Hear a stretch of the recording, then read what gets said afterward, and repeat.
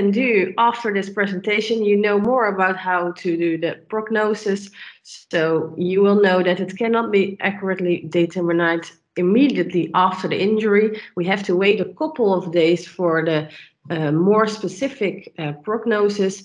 The MRI and ultrasound have no added value, so you can throw them away for the prognosis. And um, repeated clinical evaluation is the best we have at the moment. Then, if we look at the treatment and prevention, it's an active approach with eccentric therapy, exercise therapy. It is. So, and after it, we go on with the return to play. It's a shared decision making with the athlete, the team coach, the physical therapist, the sports physician, and the rehab trainer or fitness trainer. And if all is good, criteria are based on a medical clearance and the context, of course, depending which team you're in and which games are ahead. So let's start about the introduction. I'm going to tell you something about hamstrings and their anatomy. I think you will all know it, so we can go fast on that part. After we go to the diagnosis, the prognosis, the rehab, return to play, and the prevention. So these are the hamstrings. Um, the knee flexors and hip extension it are four muscles um, most of them have their origin in the ischial tuberosity and go to um, or the medial part of the tibia or more the lateral side, so the fibula head. And then only the bicep femoris with the short head um, will uh, start from the linea aspera of the femur.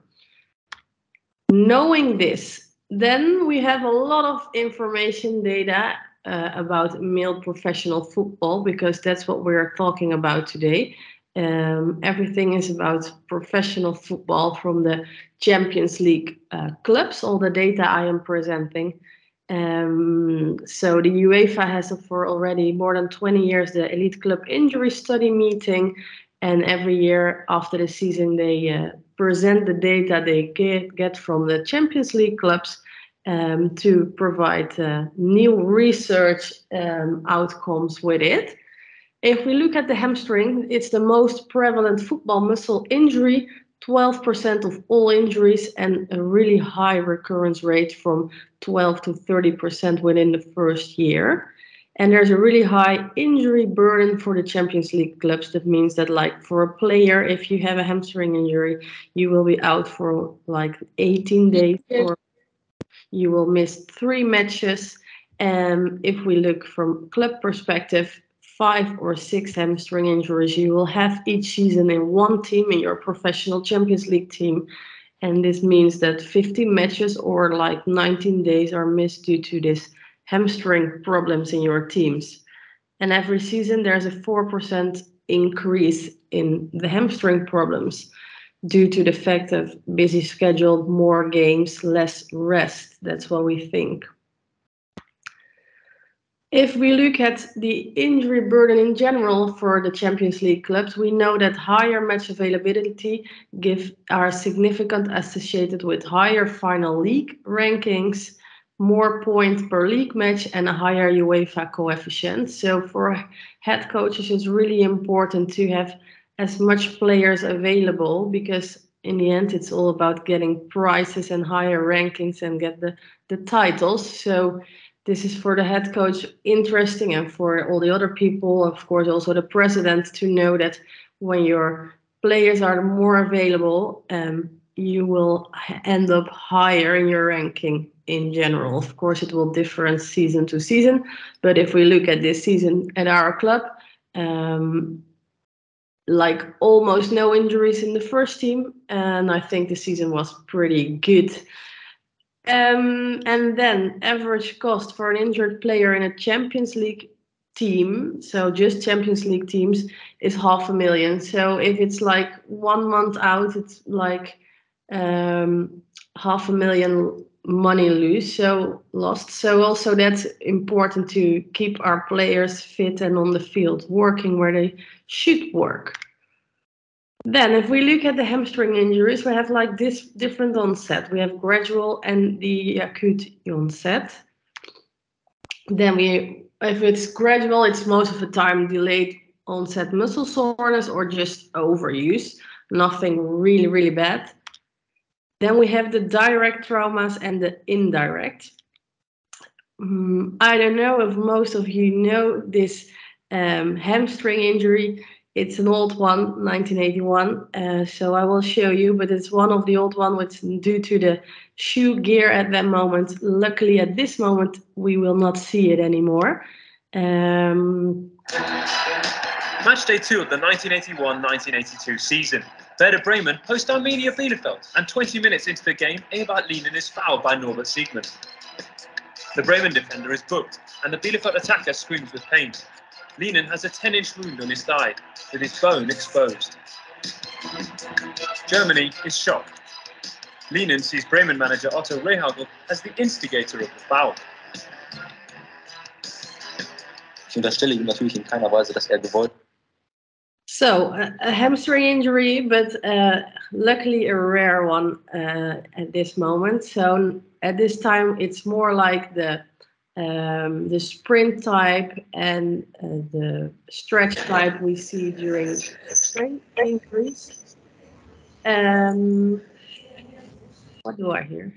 Um, during uh, the strain injury, so an indirect type of hamstring injury, uh, so we will talk more about this type of injuries because this is are the most common in men professional football.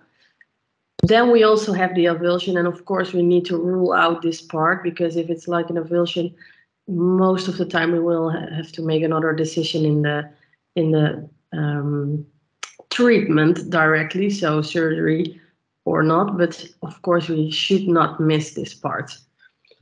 Um, looking back at the sprint type and the stretch type, um, like it's say sprinting most of the time occur during sprinting and stretching is more like what you see with water skiing, like overstretching. And also it's common in football, but more is the sprint type.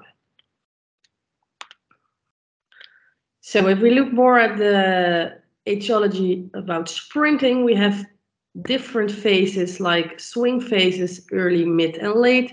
And then we have the the stand phases like also again early mid and stand. Just before landing your uh, heel or foot depending your running technique this is the part where your hamstring injury most often occur like just before um, between the late swing and the early stance foot strike. So before your feet, foot touches the ground. This is exactly when we see most of the time the sprint types. And then, yeah, if we have a problem, um, player is injured, we'll get from back off the field. Most of the time, they know it themselves already that there is something wrong. They're running, and all of a sudden, they are laying on the ground, grab with their hand on their hamstring, and they say, "Hmm, I don't think this is good. Um, so what do I have? Most of the time it's not the most difficult question to answer. Um, although um, it still is very important to have a good diagnosis. If we look at the clinical testing, it's not that good. The only test with a high diagnostic efficiency, effectiveness, uh, is the taking of shoe test, and all the other tests um, are very low to low diagnostic. So if you do physical examination, the best one is uh, still this. Ask the patient to take off, in this case, the left shoe with their heel um, against their other feet. And then um, if it's painful, it's like the most uh, important test, which has a perfect agreement clinical with the clinical testing and the ultrasound or the MRI, depending what you use. Um, but then everybody wants to know when can we play again? When can the player play? When am I able to play my next match? Uh, a lot of information again from the um, hamstring injury uh, research done by the, the UEFA group research group, so only the Champions League groups again. We see if there is structural damage for the hamstring injury, the players will be back for in the mean for 18 days or median 13 days, but it can depend like in between the 10th percentile for four days till the 9th percentile to 36 days. So it's a big range, but still with structural damage, you can be back in like four to 36 days. Doesn't seem that bad, but every day um, not on the pitch, not playing, not training for a football trainer is horrible. And also for uh, the medical staff, it's best if they are back as soon as possible at the pitch because the medical room they don't like often. Um, and we love to see them back on the pitch. And then, of course, everybody thinks uh, or say or tell me, I need an MRI to know how long this will take because they think um, the MRI tells you everything. Um, but is this true? So we will look at this. A lot of information, again, from Jan Ekstrand, the research group from Sweden. We will see if there is an MRI, an MRI scan from the hamstring injury, this professional football. Um, we have the four grades and then we see there is a significant difference because the p is smaller than 0.5 but the question is, is this also clinical relevant? Because it can be significant, but we're not sure if it's like relevant. So if we look at the 95% confidence interval for grade one, we see from left side zero days, right side 37 in this research found. Then we go to grade two, we see on the right on the left side zero again so the same. On the right 44 so the only difference is like a little difference on the right between the 37 and the 44 days. So not that relevant clinically if you ask me. So if we go to the coach and we tell him um, indeed like i think he will be back in 0 to 44 days um, I think he will not be happy with me and I can leave. So we need to get better in this part. A lot of in, a lot of research about it, the hamstring injuries and the predicting the return to play. Now we know this all, I think, and you may be better than I know this uh, research, uh, this papers.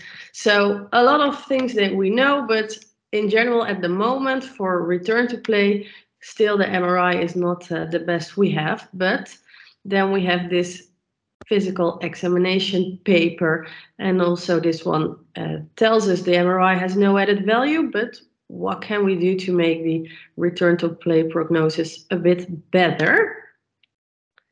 We see the clinical examination just after the injury on the left side and on the right side combined with uh, the clinical examination seven days after the injury. If we combine those two, we see that the 95% clearance interval is already a lot smaller and the prediction is a lot better. So then we can add MRI and it doesn't give us anything so what do, do we need to know? So there's a nice um, paper in the British Journal about it. It's already a bit old, but it's still we use it. Um, you can see like you can have this Excel. You can put in all the things you need to put in, and then he will tell you like the predicted days to return to play. What is interesting? You see on the left, I put in just how many days until they start with physio? Zero. On the right, I put in two, and you see the difference from 11 to 19 days already predicted days return to play. Of course, there's no other values I put in, but you see, like if you if there was a delay in the start with your rehab, the predicted days to return to play will differ a lot. If you make five days until start physio, it will be 29. So the importance of starting as soon as possible with your rehab um, is really, really, really important. So if we have a hamstring injury today and we have the MRI telling us it's a grade two, it will not say anything about the predict the predicted return to play days, but if the player is able to run in the, the pool today, he will start running today. So we do everything we can directly. So how does the, the rehab looks like? Um, from our colleagues, also from Spain and Qatar. Um, we will not say where in Spain, um, but there's a really nice uh, paper about the progressive um, algorithm for hamstring injuries and treatment. And you see if you follow this algorithm, the re-injuries will uh, go down from 25 till 4. The return to uh, sport time is a bit longer, like two days longer, but on 23 or 25 days, it's not that big difference if you can reduce the re-injury, although the coach will think different sometimes. And if we follow this algorithm, the sprint test uh, will be way better also. Um, you can see the different phases in the in this algorithm. So re regeneration phase, the functional phase, different variables, tests, and criteria for progression. If you have them all checked, then you can go to the next phase. If not, you go back and uh, go on in the regeneration phase. The biggest difference between the regeneration phase and the other phase, the next phase, of course, is the, the difficulty in the exercises, but also um, no massage on the injury side. Really important. In Spain, it's um, different. We we do a lot of massage and also directly after the hamstring or other injury. So that's very interesting. But um, we try to uh, stay off right now. So when you did this all and you checked all the, the tests, you can go from the regeneration phase to the functional phase. Uh, again, a lot of exercises in this really nice algorithm to do to build up your rehab and to uh, progress step by step. Um, in general, it's an eccentric exercise therapy. It has to be pain-free training with a good neuromuscular control of hip, pelvis, and knee, and a built-in end-up speed and explosiveness. So the last part, the return to play. When can I play again? Most important part. Um, from my colleague from Nick van der Horst, a really nice uh, Delphi study has been done. He asked all kind of hamstring experts all over the world uh, about their opinion about the return to play and the hamstring injuries. In general, this return to play model gives us it's a shared decision making, really, really important. It depends all, like mentioned earlier already, on the athlete, the head coach, physical therapist, sports physician, and the, the fitness trainer. So the better the communication with these people, the better the rehab and return to play without uh, re-injuries. So which kind of criteria has to be included? The absence of pain on palpation, the absence of pain during strength and flexibility testing, as well as the absence during functional performance and pain after functional testing. Similar hamstring flexibility, psych psychological readiness um, and um, the athlete has to have their confidence in the process and be ready mentally for uh, the next game. Then we have performance testing on the field, like, for example, sprint ability testing, deceleration, single leg bridge, and position specific GPS. Really, really important. Really depends where on the field the player is and what are the what are the normal GPS data pre-injury. And then the medical staff clearance. Most important return to play criteria at the moment.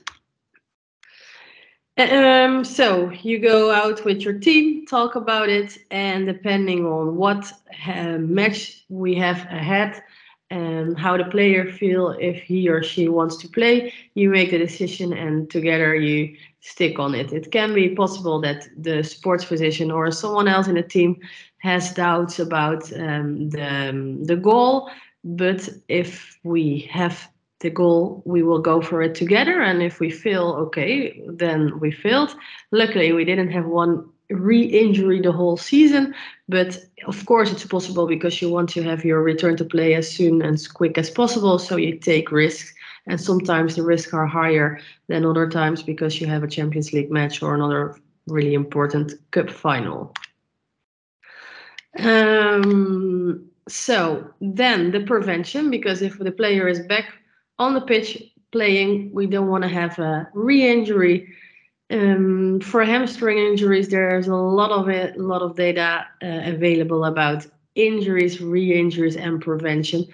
But the thing is, if you have um, good prevention protocols, still the clubs have to build it in their training, um, and that's like the the biggest difficulty because with every three days a match, um, where and when and how are we going to do this nice Nordics or other exercises uh, which are um, proven to be effective. Um, and on the other side, we do a lot of, lot of, lot of sprint training in the training, but also, of course, in a match. So this is also a prevention strategy for hamstring injuries. So all these nice things, the Nordics we're talking about, um, how is it possible that still a lot of clubs don't do it? Like I mentioned, like it's difficult with the three uh, games a week. Uh, sorry, three games, yeah, a week or every three days a game to build it in. Um, but it's not everything because now we're just talking about all the the the um, um, like workload, physical uh, risk factors for injuries, but there's way more than only the thing we are looking at the moment because it's not just the phys- the body uh, and the injury. It's way more risk factors in uh, men's football and women's football, of course. So that's also where we have to to look at. And the workload is one, um, but the player's well-being is considered also a really really high um, risk factor. If the player has a lot of stress or other things in something happening with their wives or their kids whatever um, it's also really important to know this kind of things and to tackle this risk factor. And then the quality of internal communication between the medical staff the technical staff and everybody around the team. Everybody has to have the same vision and talk about the same goals with the player because otherwise if there is some uh, thing unclear it's really important to tackle it directly. And then also we have the head coach leadership style. Um, like the chief medical officer from the uefa champions league clubs um, pointed out this is a really really important risk factor the way the head coach is leading his or her team. So they looked further at this and what they saw again from the research group um, a correlation between the head coach leadership style versus the incidence of severe injuries in men professional football the players availability and also like a 30 or 40% lower incidence of severe injuries in teams where coaches communicated a clear positive vision of the future supported staff members and gave staff encouragement and recognition and last, also the training attendance was higher in teams where coaches gave encouragement and recognized staff members, encouraged innovative thinking, and also has trust and cooperation among the team members and acted as role models for their players. And I think if we look at our last season, this is uh, yeah, you can see it all at our team and the way the, the head coach is leading his team. So then we're at the key points. Um, prognosis cannot be accurately determined immediately after the injury.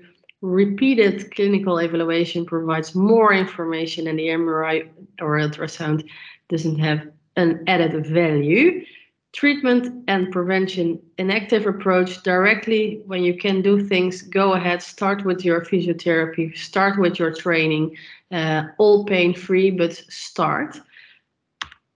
And then the return to play it depends all of, on the shared decision making and the, the criteria based medical clearance. Thank you very much. This was it